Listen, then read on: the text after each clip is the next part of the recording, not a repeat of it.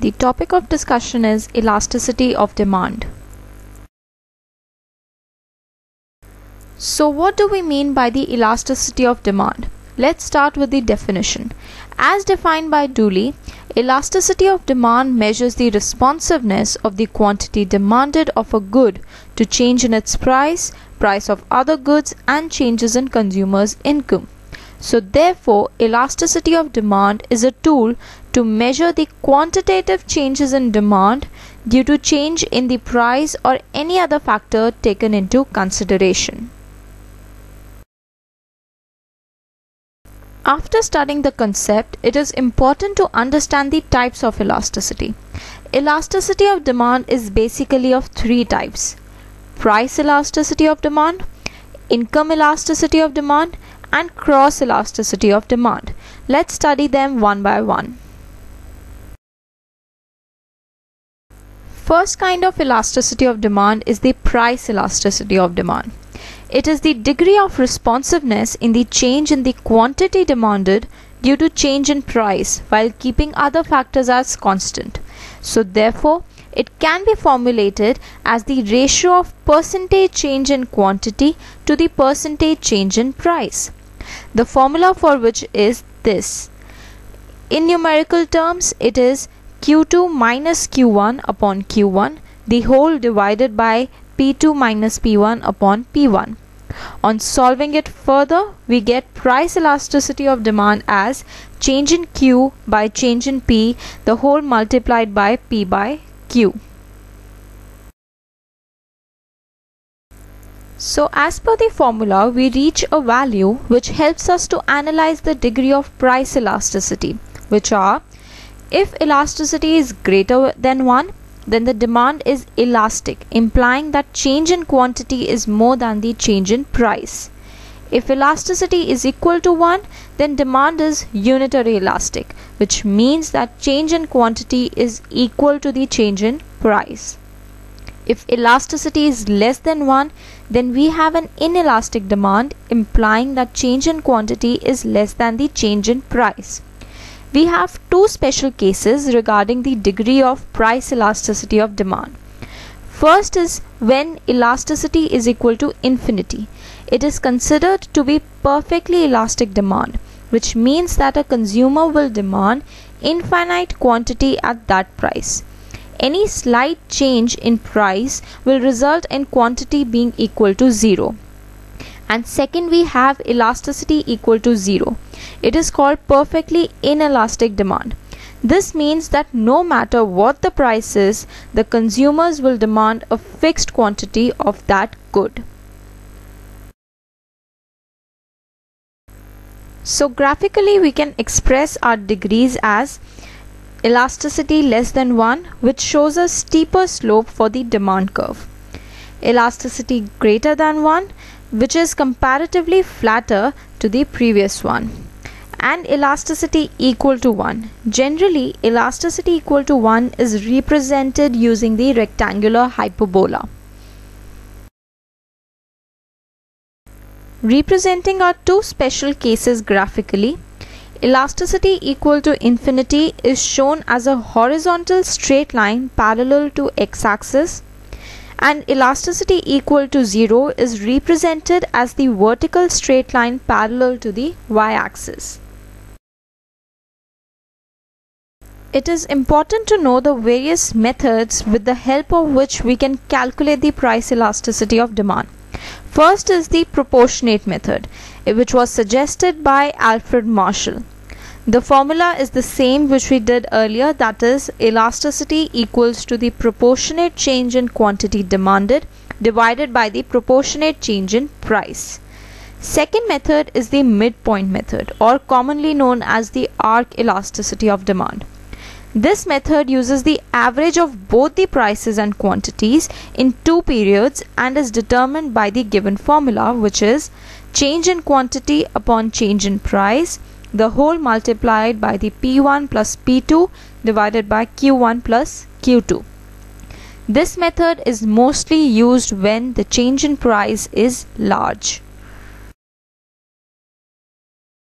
The third method is the total expenditure method which was given by Alfred Marshall. It says that if with decrease in price the expenditure remains constant, that is change in price is equal to change in quantity, then elasticity equals to 1.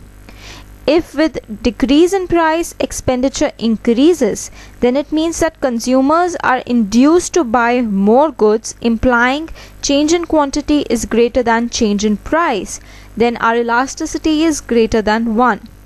Lastly, if price decrease leads to decrease in expenditure, it implies that there is no much change in quantity demanded. Then change in quantity is less than change in price hence elasticity is less than 1. Lastly, we have the point elasticity method which is represented by the formula lower segment upon the upper segment. Graphically, it can be showed like this. The point on the x-axis implies elasticity is equal to 0 the midpoint of the curve implies elasticity equals to 1 and the point on the y-axis implies elasticity equals to the infinity. What are the factors which affect the price elasticity of demand? First is the availability of substitutes. If more substitutes are available, then the consumer can easily shift to the other commodities resulting into large changes in demand with small changes in price. Therefore, elasticity is elastic if there are substitutes available for a commodity. Second is the proportion of income spent on the good. If the proportion of income spent on a particular good is large, then elasticity is greater than 1 and vice versa. Next, if a commodity has a number of uses, so with increase in price, it would be used in less ways, thus reducing its demand drastically. So therefore, if a commodity has a number of uses, then its demand is elastic.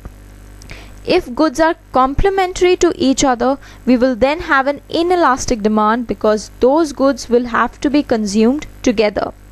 Lastly, we have the time elasticity. If consumption of a commodity can be postponed, then that good will have an inelastic demand and vice versa. Next we have the cross elasticity of demand. It is the degree of responsiveness of the change in quantity demanded of one good with the change in price of the other good. Mathematically, it is the proportionate change in quantity demanded of x divided by the proportionate change in price of y. As you all know, there are two types of related goods. One is substitutes which are consumed in place of one another and second we have complementary goods which are consumed together. Therefore, for substitutes, elasticity is positive, that is, it is greater than 0. And for complements, elasticity is negative, that is, it is less than 0. Finally, we have the income elasticity of demand. It is the responsiveness of the change in quantity demanded due to change in income and is represented mathematically as the proportionate change in quantity demanded divided by the proportionate change in income. These goods can also be classified as normal goods or inferior goods. For normal goods, elasticity is greater than 0, implying that with increase in income, the demand for those commodities increases. For inferior goods, elasticity is less than 0, implying that with the increase in income, the demand for inferior goods decreases. Normal goods can further be classified as luxuries or necessities. For luxuries, income elasticity is greater than 1. That is, change in demand is more than the change in income. And for necessities, income elasticity is less than 1 but greater than 0. That is, change in demand is less than the change in income. So this was all about elasticity of demand, its measurement and types. We hope that the concept was clear to you. If you have any more questions, feel free to contact us. You may visit our website www.economicsharbor.com or email us at admin at the rate economicsharbor.com. Thank you and take care.